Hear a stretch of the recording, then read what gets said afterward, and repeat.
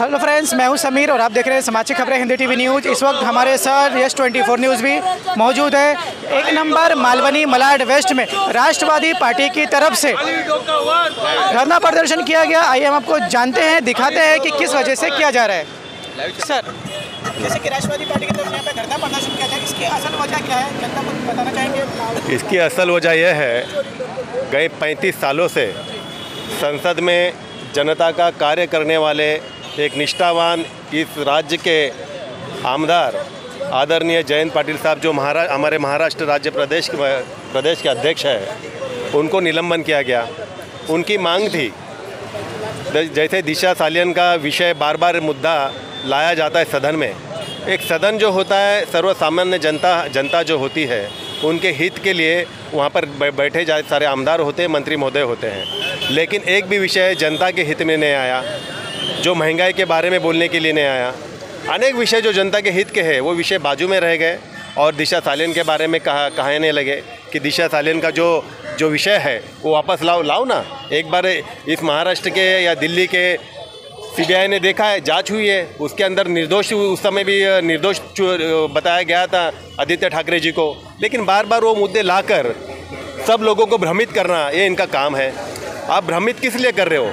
जनता का हित का विषय कब लाओगे? आज सदन जब चलता है तो लाखों करोड़ों रुपए खर्च होते हैं। ये जनता के जेब में से ही जाते हैं ना? तो जनता का हित होना चाहिए जनता जनता का कुछ अच्छा काम होना चाहिए, जो आज, जो गाँव गाँव में देखोगे किसानों की क्या हालत है? किसानों की खेती की क्या हालत है? आज भी अवकाली बारिश मतलब बिन बिन बारिश जो आती है अनेक महाराष्ट्र के अंदर जाओगे तो बहुत सारे किसान दुखी है। उनको आज तक इन्होंने जो जीडीपी दिया हुआ, अभी तक मिला नहीं है। ना किसान ने जो मांगा हुआ पैसा, उनको मिला नहीं है। और इतनी झूठी सरकारें हैं, इतनी झूठ बोलती है हर चीज़ में। आप गए बार देखो, नाना पटोले ने कहा है कि इनके ऊपर मैं हक भंग लाऊँगा। क्योंकि ये देवेंद्र फडणवीस बोलते हैं कि भाई सीबीआई के बाद जाँच ही नहीं हुई थी। तो नाना पटोले ने कल ही दो दो दिन पहले कहा कि ये जाँच हुई थी, इसके लिए उनके ऊपर हक बंद हक भंग लाया जा रहा है। अभी वो कहते कि नहीं लाएँगे, आज उनकी सत्ता है। तानाशाह तानाशाह उधर बैठा है दिल्ली में, ये तानाशाही यहाँ कर रहे हैं। लेकिन आज मुझे एक अच्छी बात लगी इनके सुब्रमण्यम स्वामी जी पंडरपुर में आए थे। वो कुछ हमारे पंडरपुर के लोग उनको जाके मिले थे, और वो मिलने के बाद आज उनकी एक मैंने थोड़ी सी इंटरव्यू देखा। इंटरव्यू के अंदर उन्होंने एक बड़ी अच्छी बात कही। उन्होंने कहा, ये फडणवीस को दिमाग नहीं है, इनको अक्ल ही नहीं है। इसलिए अक्ल नहीं है कि वहाँ पर जो कॉरिडोर बनाया जाना है, बनाना चाहते हैं, लेकिन वहाँ के समस्त जो पंडरबर की जनता उसके विरोध में है। वो कहते हैं कि यहाँ पर उसकी आवश्यकता नहीं है। लेकिन सुब्रमण्यम स्वामी जी ने कहा कि यहाँ पर कुछ अच्छे वो जो नदी है, चंद्रभागा जो नदी है, इतनी गंदी हो चुकी है। बहुत हिंदू धर्म के लोग वहाँ पर पूरे देश से आते हैं, नहाते धोते हैं, पवित्र उसको पवित्र बनाओ। उधर एक अच्छा एक एयरपोर्ट अच्छा बनाओ। एक कॉरिडोर बनाने की आवश्यकता क्या है? लोगों का घर तोड़ के तुम बनाओगे, यही करोगे? लोगों के अंदर इतना वहाँ पर भी गुस्सा है और आपको बताना चाहता हूँ, आने वाला 2024 इसके अंदर इनकी हालत क्या होगी, वो आप देख लेना। ये समस्त जनता का जो रोष है, आक्रोश है, उस समय आपको दिखाई देगा। यह हालत ऐसी बनाई है और आदरणीय हमारे जयंत पाटिल साहब ने जो आवाज़ उठाई, जनता के हित के लिए बोले। उन लोगों ने कहा कि ये निर्लज है निर्लज सरकार निर्लज लोग हो आप लोग। जनता का विषय लाओ। अभी निर्लज का मतलब मराठी में मैं बताना चाहता हूँ। मराठी में हम लोग बोले, इंग्लिश में आप लोग बोलते हैं शेम शेम तो मराठी में क्या हो गया? निर्लज हो गया। तो शेम चलता है? निर्लज नहीं चलता है? हाँ? तो निर्लज लोग हैं। निर्ल निर्लज लोगों को निर्लज की भाषा भी समझ नहीं आती, क्योंकि बहुत कम पढ़े लिखे लोग हैं उनके अंदर। ये जो खोखे सरकार गई है, वो कोई बांगर है, वो चौथी पढ़ा है। और मुख्यमंत्री कितने पढ़े तो एक बार जाके गूगल पे देख लो। और उतनी, चलो ठीक है, पढ़ा, पढ़े लिखे नहीं हो तो कम कम से कम आपके पास बुद्धिमत्ता तो होनी चाहिए। अपन कौन से विषय पे यहाँ पर आए हैं? जनता के हित के लिए आए कहते हैं कि हमने चार महीने में, जो ढाई साल में इन्होंने नहीं किया, उतने हमने पाँच साल में सारे की सारी चीज़ें पूरी कर दी। लेकिन ये सारी झूठी बातें हैं और मैं वापस एक बार कहना चाहता हूँ, जयंत पाटिल साहब फिर आएँगे। उन्होंने उनका एक वृद्ध वाक्य है, लोगों को गुस्सा आएगा तो गुस्से में, हमको गुस्सा नहीं आना चाहिए। लेकिन अगर कोई अपने टप्पे में आया तो उसका कार्यक्रम कर देना चाहिए। तो कभी ना कभी हमारे टप्पे में ये लोग भी आएँगे उनका कार्यक्रम हम ज़रूर करेंगे। अच्छा सर एक और इस टाइम महत्वपूर्ण चल रहा है सब जगह कोरोना का माहौल बनाया जा रहा है उसके ऊपर क्या करें कितना सच्चाई इसमें? नहीं कोरोना अभी ठीक है कोरोना आया आया है ऐसा लोग बोलते हैं तो हो सकती सच्चाई है लेकिन मुझे तो कभी कभी थोड़ा थोड़ा शक होता है कहीं से तो क्योंकि एक तरफ़ राजीव गांधी इतनी ज़ोर से चल रहे हैं राहुल गांधी इतने ज़ोर से चल रहे हैं इतने तेज़ी से चल रहे हैं और इतना बड़ा प्रतिसाद उनके पीछे चल रहा है। मुझे ऐसा लग रहा है। मेरा व्यक्तिगत मत है कि उस कारण तो कहीं ना कहीं से कोरोना भारत देश में तो नहीं आ रहा है।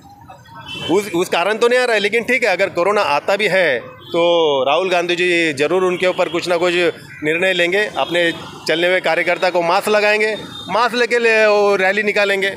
उसके अंदर बहुत सारी उपाय है ढेर सारे उपाय कर सकते हैं।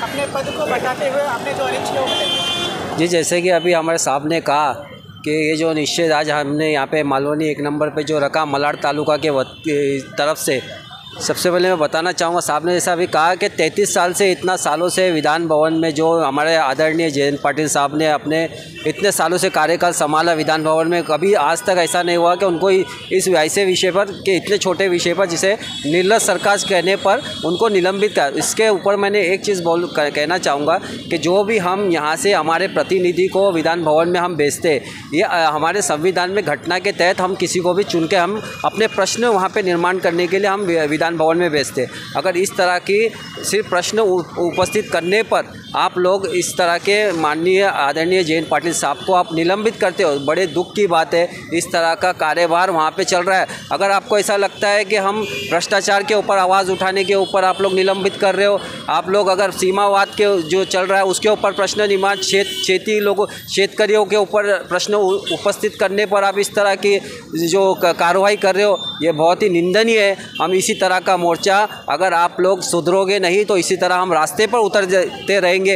ये तो छोटा सा ट्रेलर था। अगर आपको पूरी पिक्चर देखना है तो राष्ट्रवादी हर जगह सक्षम है। आपको दिखाएँगे पूरी पिक्चर। यही आप क्या कहना चाहेंगे? आज हम लोगों ने जो मलाड तालुका में जो ये मोर्चा आयोजक किया है आपका नाम? मैं गणेश शिंदे मुंबई सचिव राष्ट्रवादी कांग्रेस पार्टी का।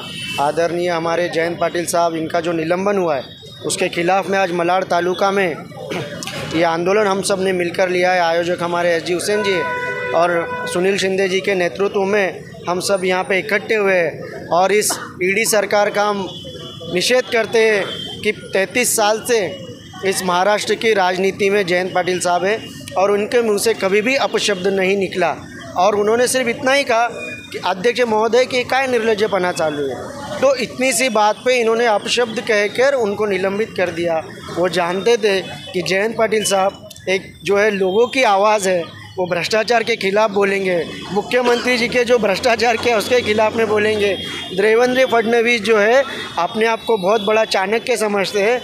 लेकिन उनको भी अगर संसद में आप देखोगे तो लोगों की आवाज़ रखते हुए जयंत पाटिल साहब भी उनको भारी पड़ जाते हैं। क्योंकि जयंत पाटिल साहब ये लोगों की बात करते हैं, किसानों की बात करते हैं, मजदूरों की बात करते हैं। राष्ट्रवादी कांग्रेस पक्षाचा। जयंत पाटिल साहब आगे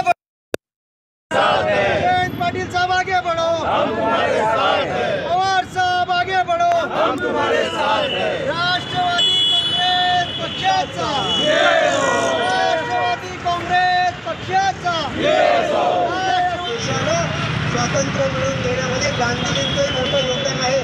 लाटा काट्या खाऊन जेलमध्ये जाऊन या देशाला एक मोठं भविष्य बाबासाहेब आंबेडकरांनी संविधान दिलं. आणि त्यामुळे आज जो आपला सुजलाम सुजलाम देश चालू आहे.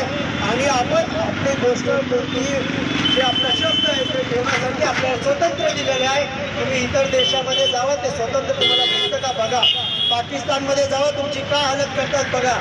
पण आपलाच एक देश आहे त्यामध्ये तुम्हाला स्वतंत्रपणे बोलण्याचा आपल्याला अधिकार आहे. आणि तो अधिकार कोण तुमचा? करायचं काय? खाली डोकावर पाय. या सरकारचं करायचं काय? डोकावर पाय. सरकार. सरकार.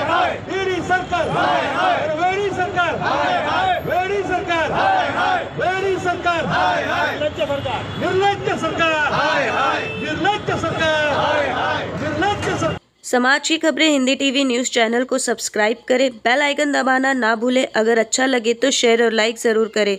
अगर आप हमारे साथ जुड़ना चाहते हैं किसी भी तरीके का न्यूज़ एडवर्टाइजमेंट देना चाहते हैं तो हमें इस नंबर पर कॉल करें। Seven triple six four seven triple one zero. धन्यवाद।